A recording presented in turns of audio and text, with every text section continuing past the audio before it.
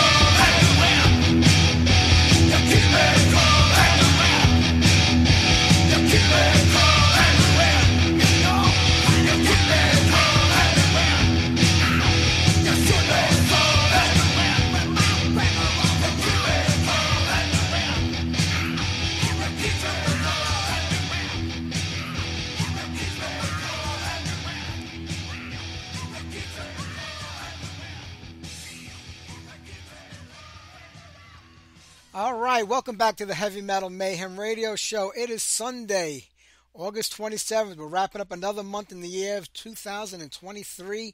Man, next month is September. I can't believe it. We don't have a show next Sunday. Uh, it's Labor Day weekend over here. Uh, so we're going to take the weekend off and recuperate. We had a really busy summer. We've had two to three guests on every week, and most of them, if not all of them, are pretty much live on air when we were doing the show. So uh, we're going to take a weekend off, and we're going to come back with our 15 year anniversary show, and we got a great one for everybody. Adrian Vandenberg will be our guest, Udo Dirkschneider, and I believe Phil Campbell will also be calling in that night. So we're bringing out all the big guns for the anniversary show. But tonight we got another great one for you. Wayne Noon and Alex Repetti from Severed Angels will be calling in first in about a half hour, and then the man himself, John Gallagher of Raven, in the second half of the show. I think it was less than a year ago that we spoke with John when the compilation record came out. Uh, we're going to do it all over again tonight because I got another one out that's phenomenal. All hell's breaking loose. Right there, Cloven Hoof, classic Cloven Hoof, off their first record from 1984, an album that came out on Neat Records, a great label from the new wave of British heavy metal era. That's when the band was known as Water, Fire, Air, and Earth. Water, Dave Potter. We had him on the show. We didn't have him on the show. We played one of his bands on the show last week. Uh, a group that he was in called H Bomb for a very short amount of time. They were a French band, pretty good. I mean, you know, I really like the earlier stuff without him in there more, but the album that he did put out with them wasn't so bad. And you know, Lee Payne is a good friend of mine. He's on the show a lot. And when he reached out to me a few months back, you know, when everything happened and George Call was out of the band, it's actually longer than that now, but uh, when all that went down, he sent me a message saying that you know uh, Harry Conklin, the Tyrant, is going to be singing with the band.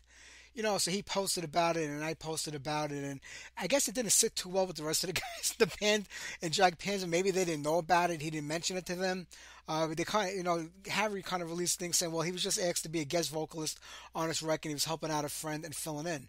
But when we had Harry on the show about a month ago, and I had brought up the whole Clovenhoof thing to him, he's like, yeah, we're getting ready to start recording that record. And I said, is this going to be like a permanent thing? he goes, I hope so. I really would like to do it. So I don't know, a lot of mixed messages there. Is Harry going to be a part of the band permanently? He's never going to leave Jag Panzer. I mean, he's been out and out.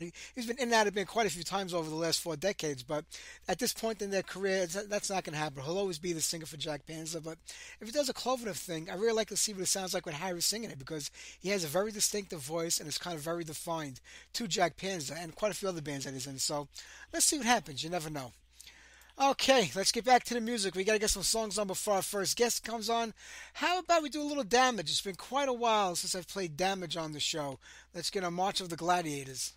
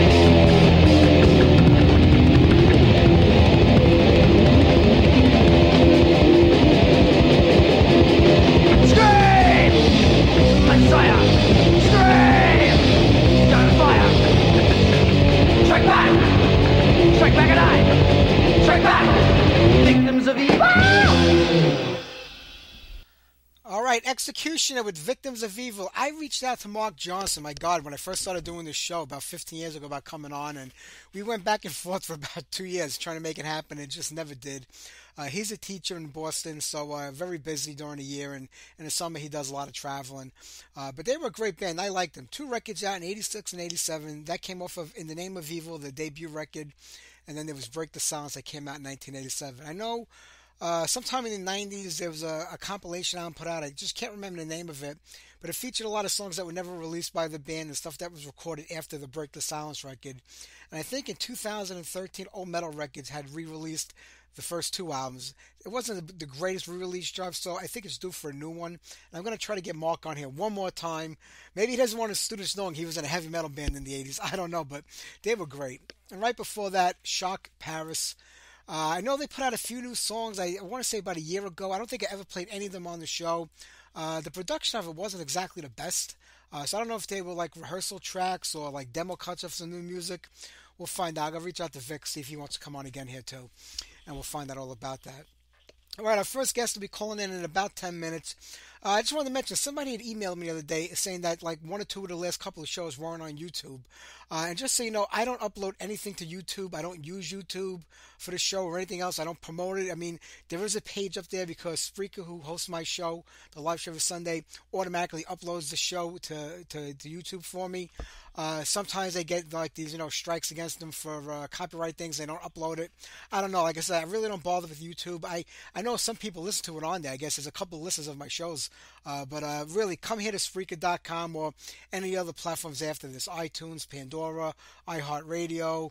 It's on Amazon. You know, you can listen to it anywhere you want. Also on my, my Heavy Metal, Mayhem, Heavy Metal Mayhem Radio Show.com website.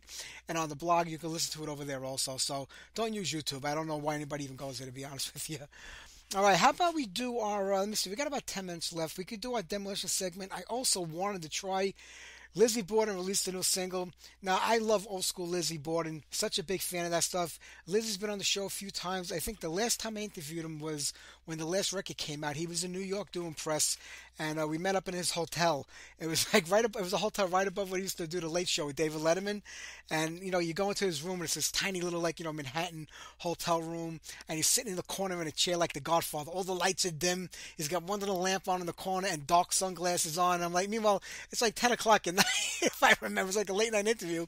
The room is pitch black and he's wearing sunglasses. But Lizzie is a super nice guy. He really is. Love talking to him. Uh, when Midnight Things came out and we spoke, we did that interview. Uh, he was very disappointed with Appointment with Death, and that's why there was such a gap in between that record and my Midnight Things. But he released a new single called Death of Me. And I mean, I just cannot get into this. I mean, I'm hoping that the rest of the record is different, but I doubt it. It's probably all going to be in this vein, in my opinion. It sounds like Marilyn Manson and Nine Inch Nails and uh, Three Doors Down, all that kind of shit like that. I mean, even that stuff's not popular anymore, so I don't know why he kind of did this. Uh, I don't even know if I can make it through the whole song, so I'll just play a little bit of it, and then we'll do our demolition segment right after. But let me know you think. This is brand new Lizzie Borden called Death of Me.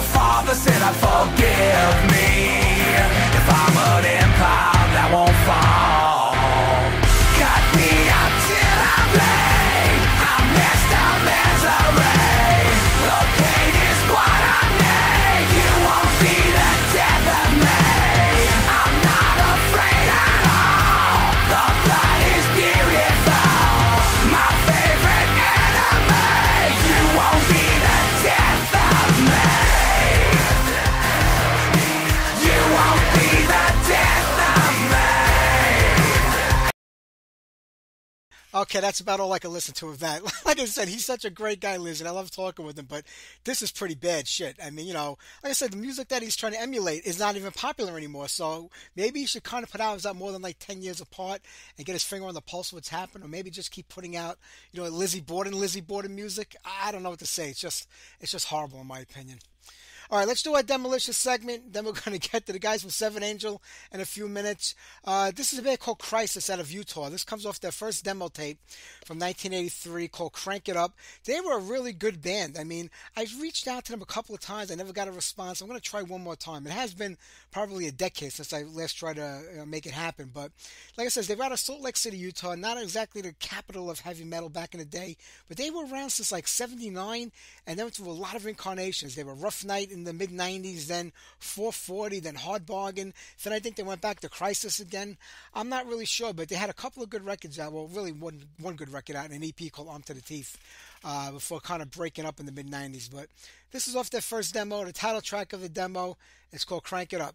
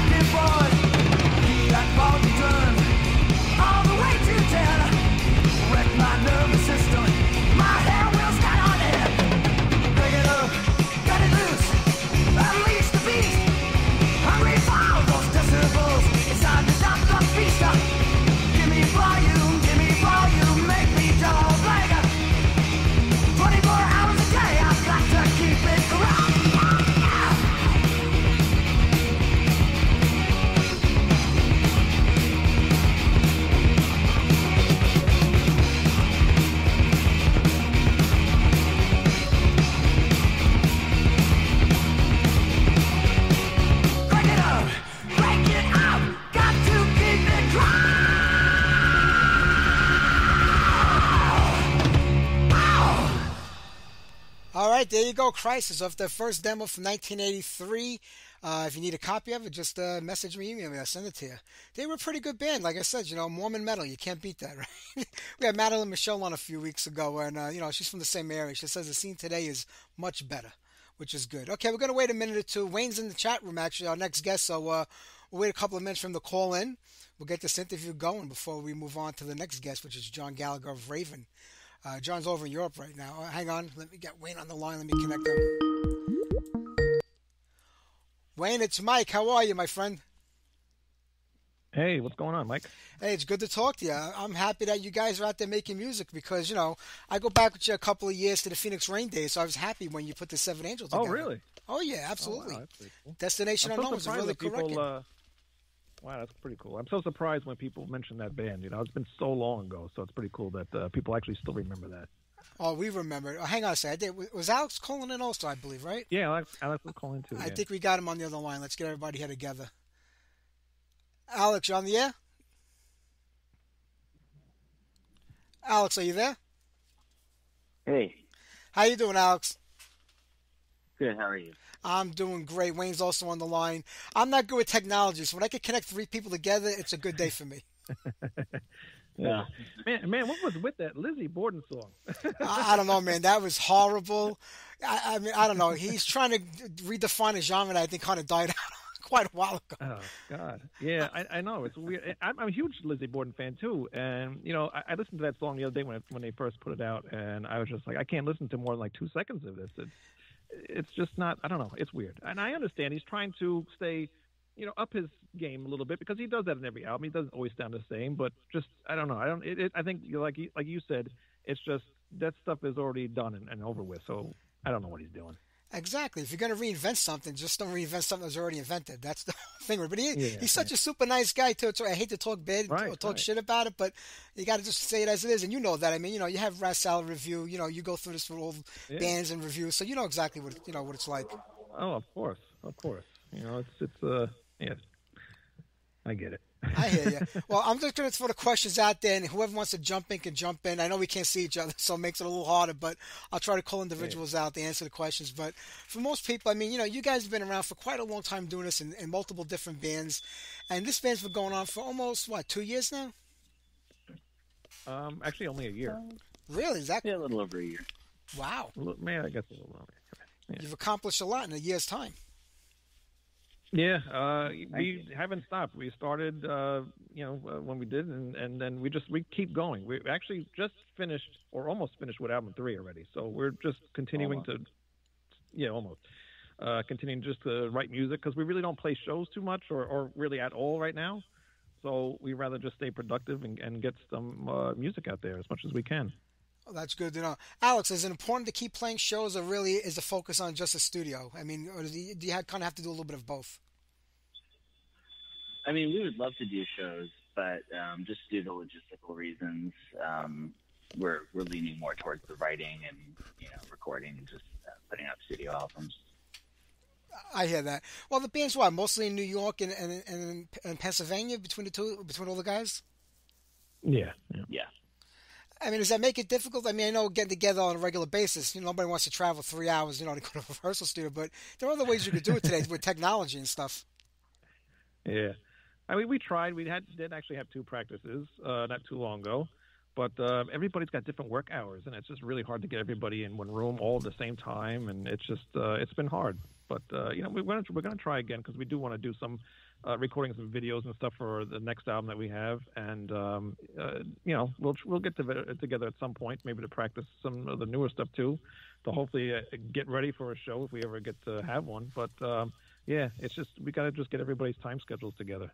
It's hard. Life gets in everybody's way. Yeah, Yeah. exactly. It's a crazy world we live in. Well, you know, like I said, the band started a little over a year ago. Uh, and I know, like, you know, you released a whole bunch of singles to start things out. I think there were like maybe seven or eight singles that came out over the course of last year. Was that the game plan, like to like kind of test the waters with each one to see how people are going to react to it? Yeah, I'll let Alex answer that one. Well, um, we actually wrote the album first, but then while we were shopping it around and trying to figure out what to do with it, we figured, well, you know, we're you know, we banged through the album in like three months. So we figured, you know what, let's just keep writing and see what happens. And we had, you know, maybe like half a dozen songs. And we decided, well, you know what, while we're waiting to see what we do with the album, why don't we just start putting singles out so people can at least hear what we're about? And, and yeah, so kind of what you said, you know, just kind of see how people react you know, most bands wouldn't release that many singles instead of putting out a record uh, because they feel like they're using they're going through the catalog. But you guys talking about being on your mm-hmm. third record, like as far as songwriting goes, writing songs is not a difficult process for you guys.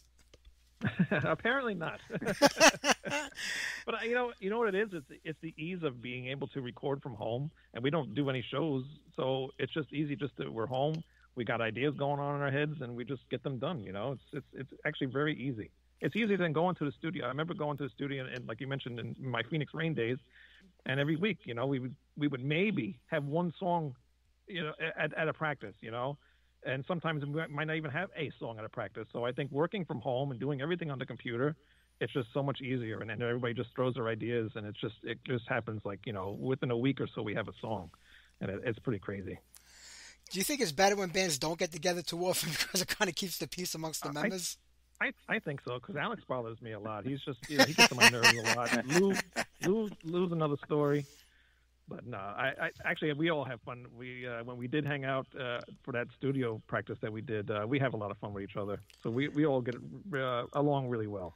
That's important. sometimes I mean, it might help. Maybe if, if we did hang around more, maybe we would get sick of each other. But we talk on Messenger almost every single day, so it's like, kind of like we're always seeing each other. So I don't know. Now you would definitely get sick of each other. My wife tells me that every day after thirty something years.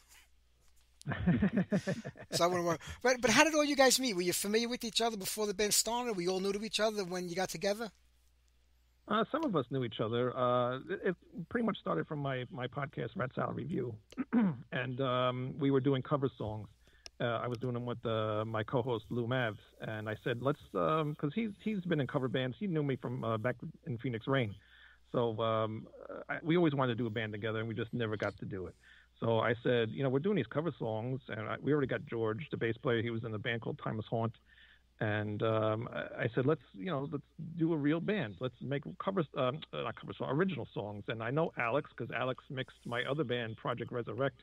He mixed the album for that, and um, he started singing uh, one of uh, his own uh, solo tracks one day, and I really enjoyed what he did. And the keyboard player, I knew he was actually um, works with my uh, father-in-law, and uh, he said, "I know this guy that likes metal and all the stuff, the same stuff that you listen to. Check him out." And he's been on my show a few times, so I knew he wanted to do a band. So I just asked everybody if they wanted to do like real original music, and everybody was into it. So it just started right from there, and it was like almost immediately. As soon as I, I said something, everybody was ready to go. That's great. You know, doing covers is one thing, but then like you come up with the idea of doing an original band and putting it together. Where does the music come from? Where does it blossom from? Where do you say, hey, here's what we should sound like, or this is the direction we want the band to go in? Was everybody? I mean, it's hard to describe the band's music because it has that European symphonic sound, yet it has classic power metal to it. There's a little bit of everything going on. So how do you come up with the sound, the design, and the style of the band from the beginning? I'll let Alex answer that because he's the engineer. So go ahead, Alex. Oh well, I mean, in terms of the music writing, um, we never really had that conversation. We just kind of started writing, and it all happened very organically. In terms of like producing and mixing, yeah, you know, I, I just kind of, um, I just try to serve the song. You know, um, I don't have like a one size fits all kind of mixing approach. So, you know, I, I hear how the song is developing, and I just try to do what fits it. The album definitely we, we has a big sound. something different. But, yeah. you, but are you are you all writing together, or is somebody coming up with the genesis of an idea, and then everybody else is contributing to it to make a song out of it?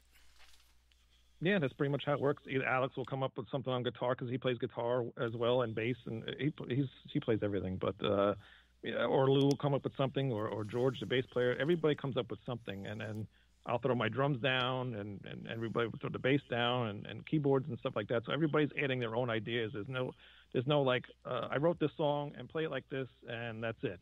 Everybody is able to be free and do what they want. So that's why the songs sound the way they do. You know. One of my favorite songs on the record is with Wings and No. It's like a barn burner. I mean, almost eight minutes oh, long. Oh, yeah. I love songs like that. You know, they kind of tell a story, and you can really get a feel for it because it doesn't end before you get into it. It keeps going on. Right, right. Yeah. Right. Yeah, uh, a friend of mine actually he's a he's a wrestler, uh, and they, his, he's got a wrestling company, uh, Deep South Rep- Wrestling, and uh, they're actually using that song right now for their uh, one of their shows they have coming up. And uh, I also asked him because I want to make a video for that song, and that, and he put like a little clip, like a wrestling clip of all the stuff that's going to happen for that event that they're going to have, and it came out really cool looking. So I said, if you can do anything for the day of that show and have all the clips ready, and, and I can make a video with that song added to it, it's going to be really cool. So I can't wait till that comes out. It's uh, I, I love that song a lot. I think that's that's probably one of my favorites as well. It's a killer tune. it- like you like you said, right? Like you said, it it kind of shows everything that we do all in one song. Yeah, it really does. I mean, what could be better than having your song played when a wrestler comes walking down? That's got to be like the ultimate thing. Oh yeah, yeah, yeah, yeah. That's Yeah. That's, that's pretty awesome. I love that. well, you know, you have the songs together now. The album's recorded. You shop it around to a label. I mean, I know you some with Sliptrick, but I guess it didn't work out in the end. Oh yeah, we- found out uh, nobody. If anybody listening to this is in a band, don't don't ever trust that record label Sliptrick. Um, they just, you know, and, and any label that asks for money, don't don't fall for it. You know, I mean, unfortunately we did, but we it sounded like a good deal and it wasn't. So we got our money back. But uh, yeah, if they ask for money, don't give it to them because they, they just don't. They say they're going to do this, do that, and it, everything is you can do it on your own. You know, for half of the the price that they want. So never never don't fall for those scams. It's true. Today, what can't you do on your own as, a, as an artist that you needed a label to do maybe back in the 70s and 80s? You can do it all. You, you get distribution, but you know what? With a little work, you can even make that happen. And let's be honest, how many people, you know, a lot of things are digital today. Oh yeah, yeah. That's uh, well, that was one of the first things. Like Alex, really, he's he's he's actually the youngest guy in the band, so he's really more into the, the streaming and and the uh, you know the digital you know part of the whole thing. And uh, you know we're older guys, so you know we all want our CDs and records and all that stuff, but we're trying to uh, you know use the internet more with our our music because that's what everybody uses, you know. And also too, we don't really have a a presence outside of the internet anyway right now, so we we try to use everything we can to put our music out there. Yeah, I hear that. I mean, Alex, what's the challenges of playing a live show today? I mean, besides getting the band together from being in multiple regions, I mean, we, you- you're still pretty close. You're not like you're that far apart, but it's still a little bit of a challenge. But what's the hardest thing about getting shows lined up today? Is it the lack of clubs out there or being able to get a show booked? Yeah, it's it's multifold. I mean, yeah, as you said, there's there's certainly less clubs now than there were ten years ago. At least for New York, I can't really comment elsewhere, but I assume it's the same. Um, so yeah, less venues means less shows. Uh, venues generally pay less than they did even five years ago. Um, and uh, you know, I, I hate to always bring up the pandemic, but you know, ever since then, the, the venues are trying to, you know, take as much money from the bands as they can, even more than they did before, uh, probably to try and make up for some lost time. And uh, so they're even trying to take merch money and everything. I mean, you know, first bands lost the, the record money, you know, then they lost the ticket sales. Now they're going to lose the merch too. What's left? That's true. How does a band go on? I mean, you know, if you're if you're a local band just trying to have fun and get the name out there and you know make music when you can and it's not your life's blood or how you earn a living. I mean, how do the bands do it or how are they going to do it? Like you have bands like Megadeth, they're not Madison Square Garden bands, but they play big shows. I mean, but how often can you come around and play? I remember at one point Megadeth was coming around every four or five months playing, and after you say, "Well, I just saw them five months ago. Why am I going to spend hundred dollars on a ticket to go again?" I mean, where is the future of music? I have no idea. I wish I had the answer to that. we can't even figure it out ourselves right now. I, I don't know. It's it's Let's, so strange. let's It's ask like the AI what it thinks. yeah, yeah, pretty much. Let me ask it right now. Let me see what they ask. ChatGPT. AI is the next thing. So I mean, fans got to Yeah. start watching out for that too. I mean, it's, it's a crazy world Oh, we yeah. live in. But I say, like you know, when when Iron Maiden are done and when Metallica are done, who's coming up from the minor leagues to the big leagues? There's no chance. I don't I don't Oh, see any metal bands. I mean, pop bands will always be out there, and rap bands, but I mean, even rock bands. I mean, like real traditional hard rock bands like ACDC. I mean, where are those next bands Right. coming from? I don't see anybody waiting in the wings right now. I don't know either. It's it's like like we mentioned before. I have my podcast, and I do have a lot of great bands on there, but uh, we're everybody's still indie, and and everybody's still trying to make their you know get their name out there and everything, and it's just really hard to see who's going to really be the, the standout band. I mean, you got like Greta Van Fleet, where I, I love that band, but a lot of people don't. Uh, but I, I still don't see them being like the next big thing, you know. And and I love the band Ghost, and everybody makes a big deal about them. But I went to a show and it was like half full. You know, this, there was empty seats there, so even they're not as big as they're made out to be. So I have no idea. I, I don't know what's going to go on. Uh, like Greta, Greta Van Fleet, everybody's promoting them as the next big thing, and I don't know if it was like the Led Zeppelin thing where you know everybody says, "Oh, they're right. imitating Led Zeppelin," but they are a good rock band. They're a good young rock band, and they, they should are. get that shot. Yeah. And you know, you, I don't know, who knows? It's it's just a crazy world we live in right now. But getting back to Severed Angel, do you have anything planned for this year as far as live shows go? is it not even on the books right now?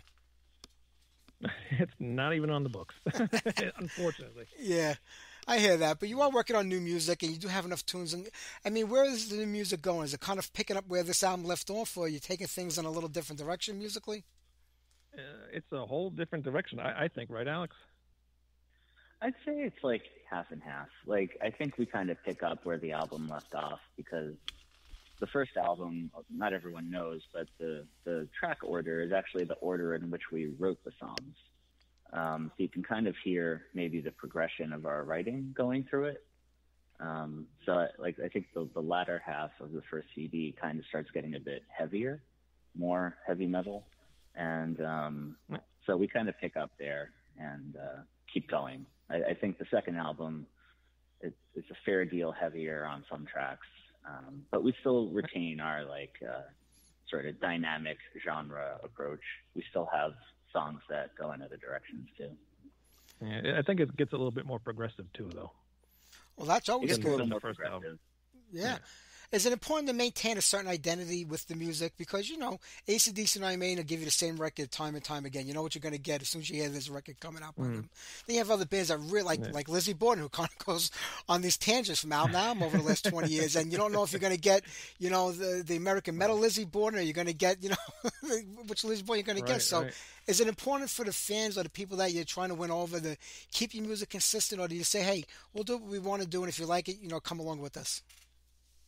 Yeah, I, am always for change. You know, yeah, exactly. It, it, I, I, but I like to I like to have things that change. I, I don't like to stay the same a lot. Like you'll see on like our next album, there is a little bit of a, a, development, and then the third album there's more development. So I like gradual change. I don't like to just shock bands and all of a sudden we're like a you know a synth band, you know, a synth pop band or something. Right. So to, to add those elements as you're going on, and then you know it's not such a huge shock. But like like you mentioned with the Lizzie Borden thing, like that's a huge shock. Appointments to, uh, with Death was like the, the album that got me into them, and that was a really good album. It's a, it's a, thin, uh, a Lizzie Borden album, sounding album. But now what he's doing, it's like that's like uh, uh, Rob Zombie. You know, it's like that that doesn't work. And and I don't. If that ever happens with us, I don't know. But I, if we ever do, it'll we will gradually get there. We just won't be like this is what we do now. You know. No, I understand. You right. say it's a gradual change, but is it a forced change? Is it something that you intentionally want to do, or just you know, it's just the growth of the band and you guys as musicians working together? Yeah, I think it's just a growth. Uh, every time we, we write a new song, it's like, where the heck did that come from? You know, we always have some kind of, like I said, uh, every every one of us listens to something different. We all listen to different genres of, of rock and metal, and even some other genres as well. So uh, sometimes somebody will just come up with this thing, and it's just like, how did we get to this? You know, it just it just happens. You know, it's it's never a conscious thing. It's never like we're gonna make this type of song. It's it's just always just happens that way. Yeah and everybody's involved with the songwriting, like you said earlier on. What about the newest songs? Has everybody got their hand in it? Oh yeah, yep. yep. Yeah, everybody, everybody still does everything. That's how this band is. Everything is is 50-50 with everybody in this band. So now, you know, with the new music coming out, are you going to look to shop this around again? Or are you going to just do it on your own because lessons learned, or is there still a chance out there that you might want to have a label get involved? Um, I think maybe lessons is learned. I mean, we'll still try to shop around things here and there, but I, think from now on we're kind of just do everything ourselves. You know, there's uh, Bandcamp um, that we sell our stuff on there, uh, severedangel.bandcamp.com. And uh, like I said, with the streaming as well, so everybody can hear the streaming, uh, or, or all our music on streaming on all the Spotify and iTunes and everything. So I think we're just probably just going to handle ourselves unless something comes around. Somebody wants us on their label and they're legit. We'll see what happens, you know. I don't see why they wouldn't. The album is so great, and you know, you guys did such a phenomenal job on it that you know people should hear this record. I know the internet today is, you know, pretty much the only way bands or anybody kind of has to promote anything. You're kind of locked into Facebook and Twitter and all the Instagram and all these other places Oh, like yeah. that. But, you know, back in the day, you used to put up flyers on a telephone pole. Nobody knew who you were. They see the flyer, they come see the band. it was such a simple way of doing things. And like Alex was saying before, like with the clubs now, they want a cut of your merchandise when you're selling in the club. They want everything, you know. And I remember a few years ago, bands were bitching when they had to like buy 10 tickets and try to sell them before the show started to their friends. I think they'd Oh, want to go back to that today, you know, compared to the way things Oh, are of course. going. Yeah, I wish. Yeah, definitely. You know, it's a much harder time right now. I mean, and it's unbelievable. Like, I only heard about that merchandise thing about a year ago for the first time, and I've been involved in this music scene and business for forty something years. I didn't know clubs were actually starting to take a cut of the band's merchandise at that table. No, yeah, Yeah, I went to new. Mercyful Fate. Pretty Uh, yeah, uh, I think I went to Mercyful Fate last uh, November uh, when they came here to Brooklyn, and uh, their shirts were like 40 45 dollars. I'm like, why are they 40 45 dollars? And I found out, and I'm like, well, I'm not buying buying a shirt. You know, they're like 30 bucks online, so I might as well just buy it online. That's crazy. Yeah, because the club has got to get a cut of it, and that's a big place, the King's Theater Right. too. Yeah, yeah, yeah, yeah. It actually, it was a sold out show, but uh, that that whole thing is insane, man. It's just, and, and it's gonna, and if if bands stop selling their stuff merch at shows, then the venues are gonna want to take it out of something else, you know. So the bands are kind of like left in like a, a, bad spot, you know. I know it's hard for everybody, but forty five dollars for a T-shirt is just insane. You buy from you buy the same shirt made in China. They got four 10 year olds working on it, putting them together overnight, and you get it for like three dollars in the mail shift. It takes like nine months to get the shirt, but you'll get it. Uh, you'll get it eventually. it'll it'll come in the mail. Uh, you know what? Hey guys, I'm going to cut you loose in a few minutes 'cause I want to play a couple of songs. I got another guest coming on behind you. Uh, but where's the best place for people to find out what you guys are up to and what you're doing and and what's going on with uh, with Rat Salad Review? Anything coming up this week? Um, not this week, but in a few weeks we have um, uh, what the heck is her name? Laurie Kaye. She actually wrote a book about uh, her last interview with John Lennon, which was the, with the one right before he got killed. Wow. And um, yeah, I got I got to go through the book yet, but um, she was on another podcast that I listened to, and, and it sounds like it's going to be a really very interesting interview. So it's going to be really cool. That'll be uh, September sixth, actually.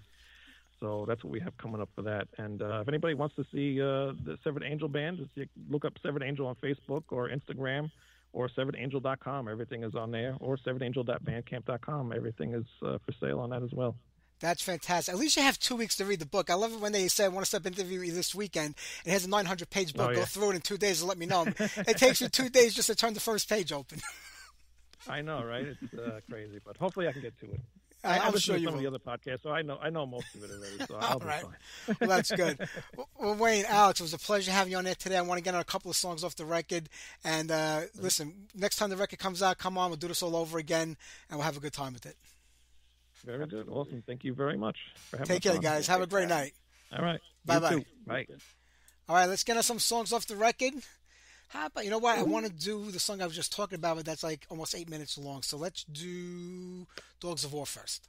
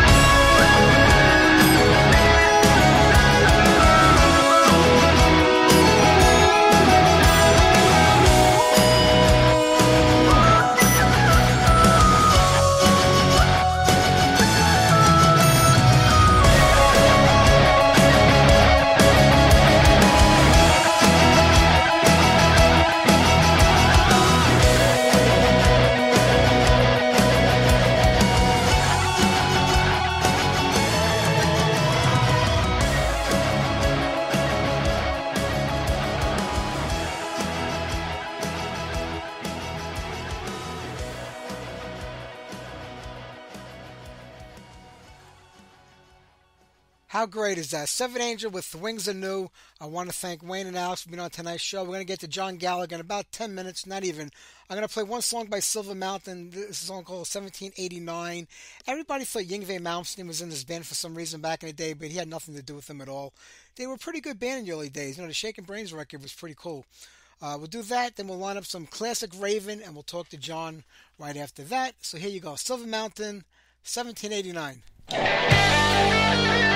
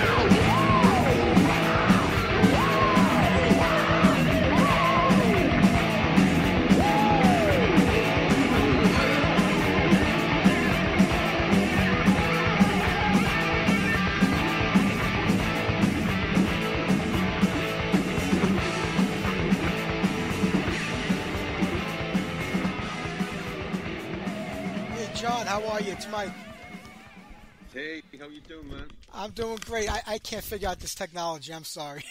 I don't know what I'm Uh, doing. that- I clicked on the Zoom link and it says the meeting is scheduled for Wednesday, and I'm like, oh, that must have been the original. Oh, and I went to the old email because, you know, I ended up going down to London yesterday, so that's originally, I think, when this stuff was going to be done, Wednesday or Thursday. But uh, obviously that doesn't work. If this works for you, then that's great. Yeah, that's fine. We can record it like this, and I'm glad that I got you because, like I said, I can't figure out technology. I'm a telephone person, pen and paper, but but it, it's great that you can figure it out because I can't. But hey, listen, what an amazing job on this new record, All Hell's Breaking Loose. I mean, Raven have never disappointed. That's pretty impressive for a going on almost 50 year career. I appreciate that, man. Uh, we're obviously very happy with it. It's exactly what we set out to do. You know, we had a mandate. We had a great record last round uh, with Metal City, and we knew we had to raise the bar. And it was just like, well, let's just go balls out here. Ten songs, 35, 40 minutes, all killer, no filler. Go for the lungs, and that's uh, really what we went for. We wrote a lot of songs and we were able to cherry pick, you know, what would be a great opener, you know, what what what would be very cool for an end song. Uh, and, you know, we had a, a pretty wide variety of stuff, but we just kind of gravitated to the, uh, you know, the chainsaw to the back of the head type of thing, you know. Yeah, you did that. You, you know, people will always say, like, you know, how do you do this? Like, album after album, like all these decades, come up with new music, good music, you know, on top of that. And then isn't part of it sort of repetition? Like, you know, when you're a stonemason and you're carving stone all day, you know what you're doing. So when it comes to writing music, it, but there's an art form to it also. It's just not being repetitive in what you're writing, but there's an artistic value to it. It has to be good, different, and original every time. Yeah, I mean, there's there's the two parts of that. You can split it in half. There's the creative part where obviously you, you don't want to repeat yourself, and then there's the craft part, which is the, you know, it's it's like the creative part's drawn the blueprints, and then the craft part is just you know you know how to lay the bricks. It's true. that is true. So you've got that, but but at the same time, that's that has to be done in a creative manner. So it doesn't sound like it's three guys, uh, you know, reading music and just uh, plonking it down soullessly. It it has to have that uh, energy and passion, uh, which you know we've gotten spades. So that's you know that's that's never an issue and we just push each other. I mean, this record was really done all in house. It was the three of us from the get go. You know, Mike in at the ground floor this time, Mike Heller, our drummer. So he contributed riff ideas and song ideas, and you know, we all chewed over the lyrics and we all chewed over throwing riffs around at each other with the arrangements, and then you know, we critiqued Mike doing the drums and you know, Mike and Mark critiqued me doing the bass and doing the vocals, and we critiqued Mark doing the guitars, and you know, we we produced each other. And Mike did a phenomenal job engineering and recording all the music. And we had one outside guy, this guy Lasse Lammert, who's like phenomenal, German guy who did a killer mix, and it worked worked great, you know. It really did. You know, when you talk about having to kind of critique each other's contributions to the songs or the album, I mean, you would think after so many decades, especially you and your brother, you know, playing together since the beginning of the band, you would kind of know what, what each other wants or expects from each other musically in that contribution. But I guess you still do kind of have to say, hey, let's, you know, do this or do that to get it to the final point of where it should be. Yeah, I mean, you know, you, each of us has to be open uh, because that's that's how you make something better. Uh, you know, you can take it so far, but someone on the outside like that can look and go, "I know you can do better," or "That's okay. Can we try something else?" You know, True. or you're very close.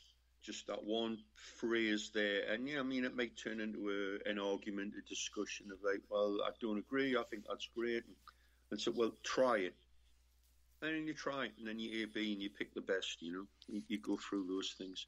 True. But, uh, uh, are the arguments today more subtle and controlled than when you were 20 years old and you had disagreements? Uh, not really. They're just about the same. We were never the type of guys that would be throwing chairs at each other. Uh, the only time I, I can remember, it, it, there was a few times things got heated in the studio. Uh, I remember throwing a bass at Joe Hasselvander once. and I remember Mark throw, almost throwing a guitar at Michael Wagner once. Uh, but that was that was for on and on. It's got a lot of what's called suspended chords. You know, like the chords on a what's the pinball wizard. Da, Yeah, da, yeah. da, da, That's da da da da da. And he was playing his old Telecaster, and it, it doesn't have great intonation.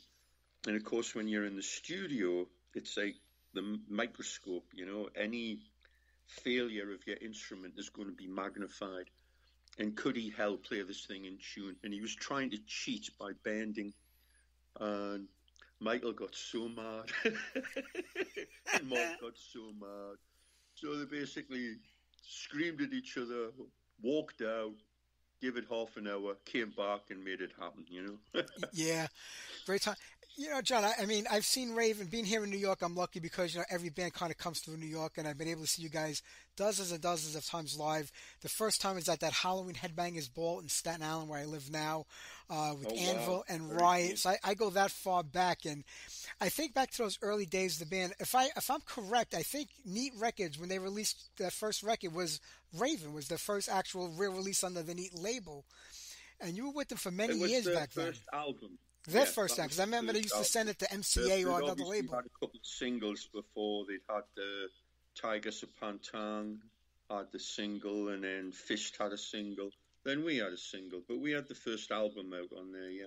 Yeah, and you know, for those couple of years you were with Neat, and you know, a young label, a new label, just like everybody else was in the scene at that time. This was all kind of new, late seventies, early eighties. But you know, you came to America for that show, and I think it was Johnny Z from Megaforce who kind of brought you over here. And this was, I think, in the days when Megaforce was really even like Megaforce itself. John just had the flea market, you know, record store. I think at the time. Uh, did you think right. that that was your opening, your opportunity to kind of break in America by having that kind of contact, or when you got here to say, "Wow, this man has a flea market"? It's not what I thought it was going to be.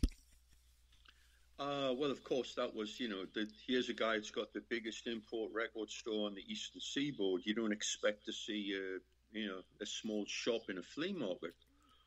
However, he was, you know, bringing in a ton of imports and selling them. And that was the place to go. The, the you know, kids were like lining up to, to buy this stuff. And we just knew he had, he had vision from the get go. He had vision, he had balls to bring us over. And we did that, and we did like four shows, I think, with Anvil right after that one Yeah. around the tri state area. And then it was like, well, let's do it bigger and better next year. Let's do a headline tour. And again, that's what happened. And he said, Oh, I've got this great band, uh, you know, the biggest band in San Francisco to open for you. And we're like, Nah.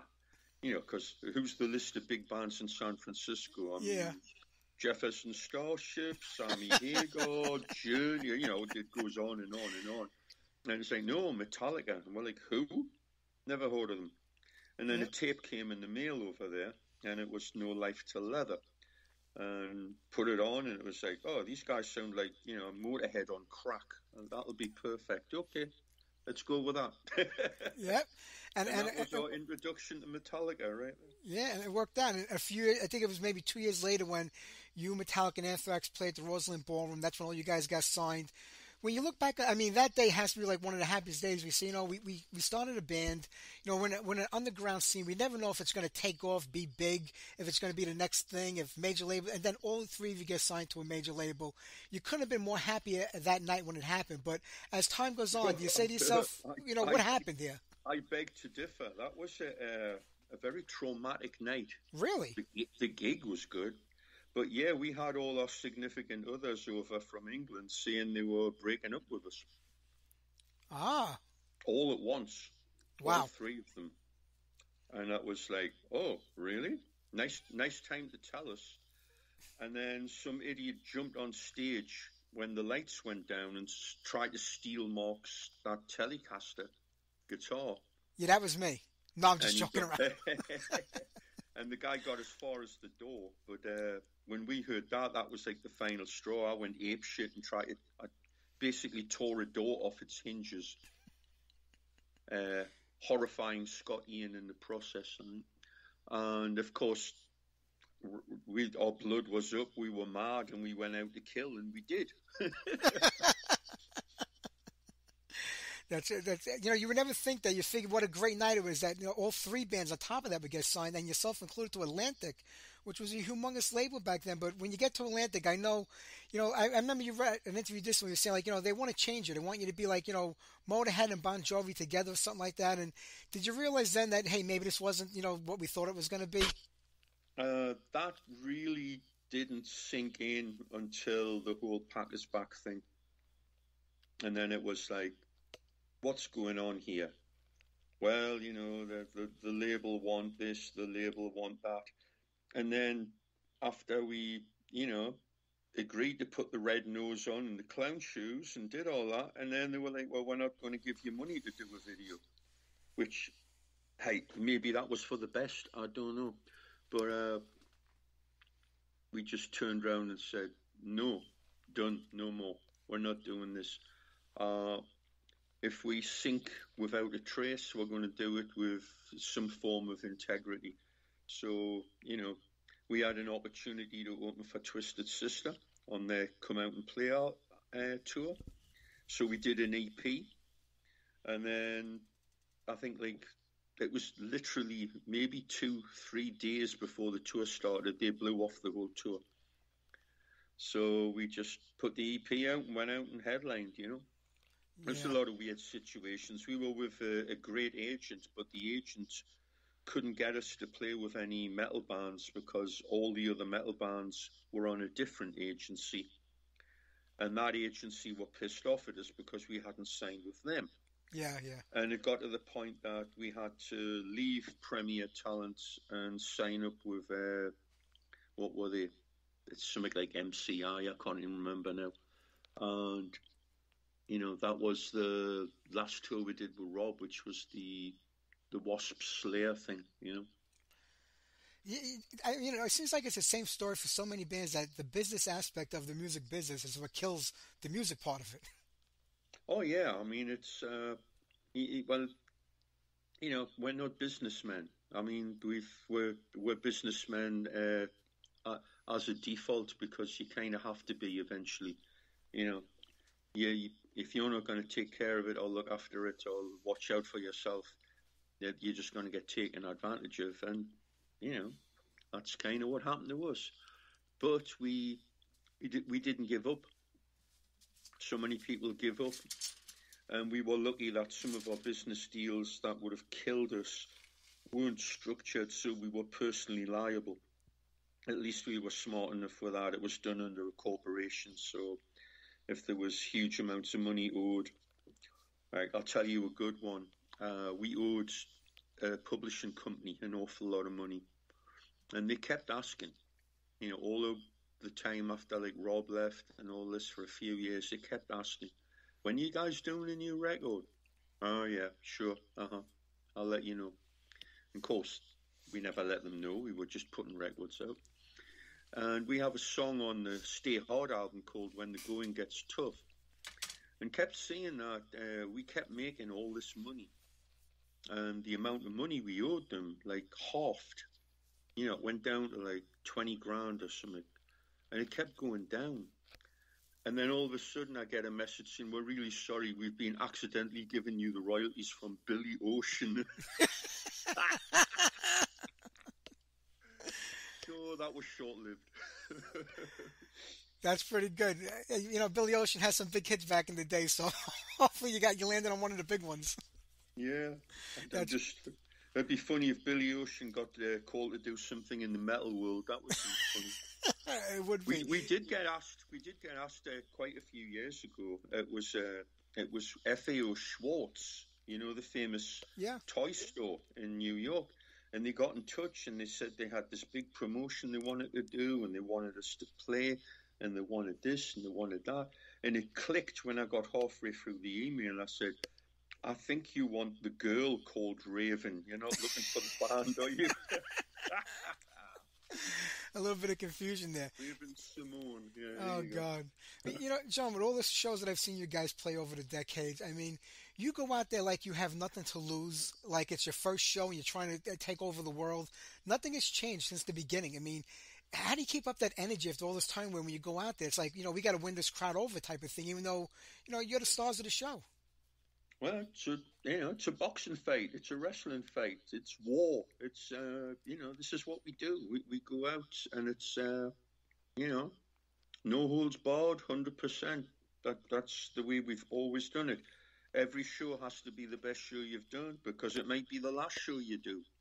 Yeah, nothing in life is certain, other than we're going to go out there and give it everything we got, and we love to do that.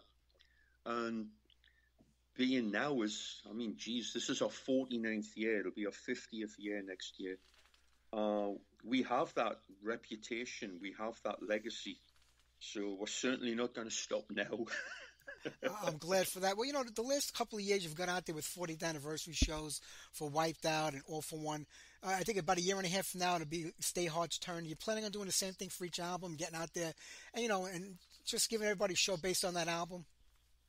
I don't know. Uh, you know, it, it was weird. We, we had fun doing it, but I, I would hate to be locked into that because, you know, we were putting out albums like every year, every two years. It would mean we'd be locked into doing that every year. And it's like, uh, I don't know. Next year's going to be interesting because it'll still be part of this album, obviously. Yeah, and then it's the 50th. So we'll probably be playing, you know, a mixture of new stuff and then pulling a few old songs that we've never done or have rarely done, you know. Like I get people saying, when you guys going to do something off Life's a Bitch? Well, maybe we'll do that, you know, something like that. Or Architect of Fear or something like that. Pull a couple of uh, songs out of left field and that'll be that'll be interesting. We'll do that and make it more of a celebration of the band. You know, the 50 year thing. You know, that would be great. uh, you know we've done the wiped out. We did all for one. I want to be locked into like okay, it's uh, you know. 2024, you're going to do live at the Inferno. Then 25, you're going to do Yeah, Stay yeah. Hard, and 26, you know what I mean? It, it, that would go on for about the next five or six years. sure, I get it. You know, you have such a large catalog, such a diverse catalog. It's got to be difficult just doing a regular show to get a little bit of everything on. That's impossible. You know, the fans want to hear the bigger hits from the early days of the band that kind of broke the band in. You got those great songs, like you said, off of Architect of Fear and Life's a Bitch and Nothing Exceeds Like Success. You know, so you want to kind of like give a little bit of everything to everybody, but it's hard.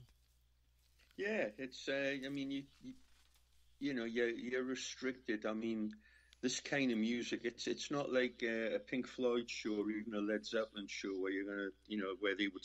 All right, we're gonna spend, you know, 30, 40 minutes doing an acoustic set in the middle, where they could, you know, stretch it out. And there's, you know, what we're doing is uh, kill, kill, kill, kill, kill, pretty much. So, you know, like an hour twenty, an hour thirty works. I mean, we've had shows where we've played two hours, and you know the audience is dead on the floor. It's you know, it doesn't it doesn't do anyone no favors. Of course, usually an audience that wants that much are absolutely insane anyway. So that's right True. by me.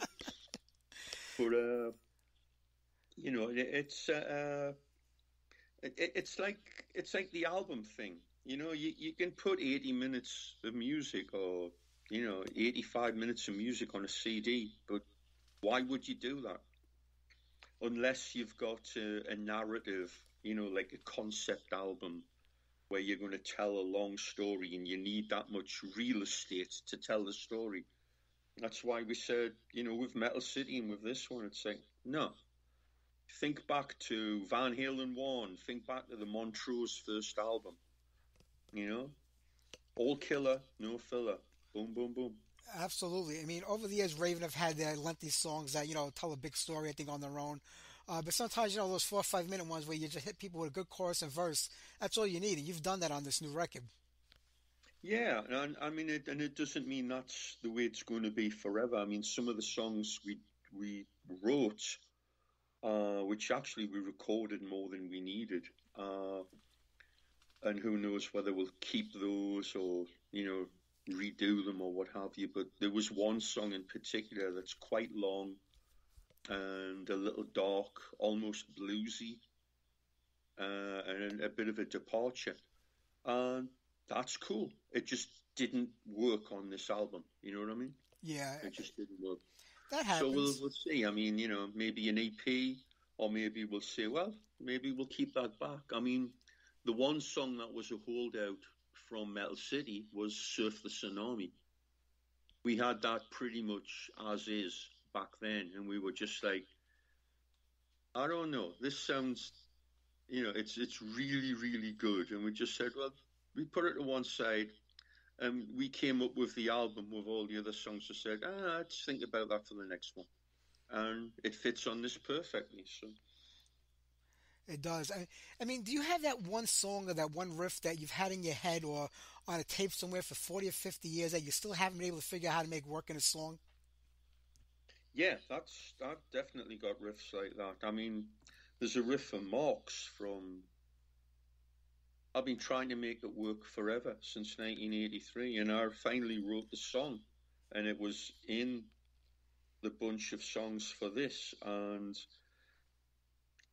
for whatever reason didn't make the cut. Great song. It's a real Raven riff, you know, like along the lines of a Hell Patrol type of riff or something like that. Uh, it's a very melodic. It's you know hard and heavy, but it's very melodic. And you know that's probably just needs a little bit of uh, you know tuck and tail, a little Yeah. bit of trimming, and, and who knows. But uh, it, I've, I've got a pretty good memory for a lot of that stuff.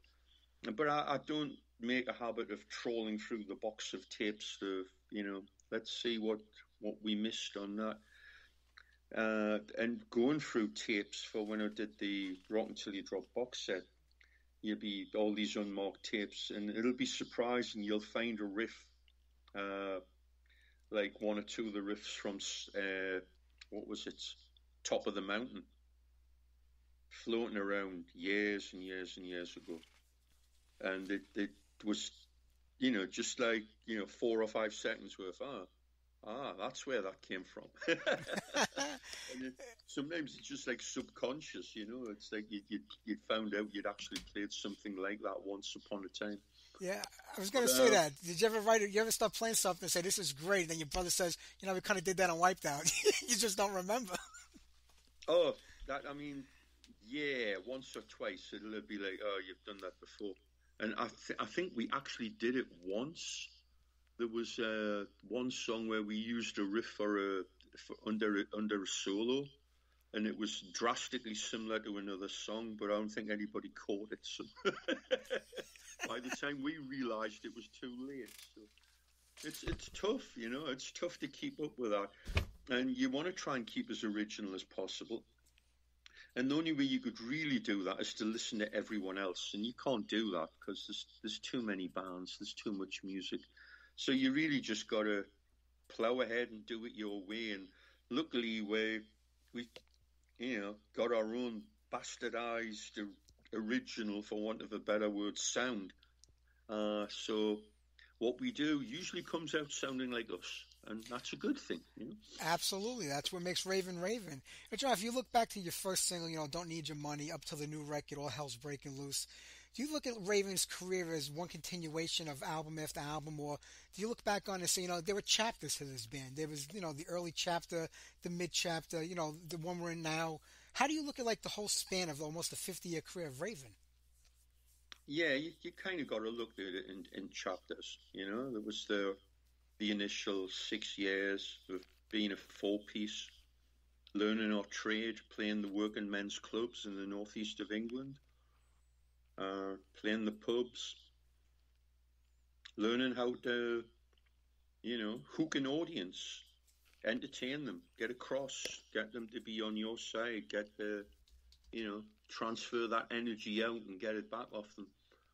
And then when Rob joined, so the whole Neat Records thing, and then the Atlantic thing, and then you know Joe Hasselvander coming in, and the whole you know the the tough years of dealing with grunge and all the rest of it, and then you know fighting back through that, and then Mark having his accident in two thousand one, and then coming back from that, and then really you know pushing all the way through till you know Joe left because of his you know heart problems and then getting Mike in, which was the start of a whole new chapter on that, you know.